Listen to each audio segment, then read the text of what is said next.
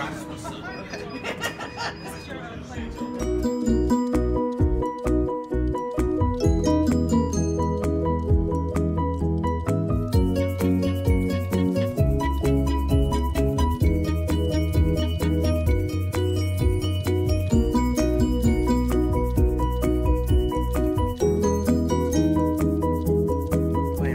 right on the neck. So now I can adjust the action to where I want it. I'll get this.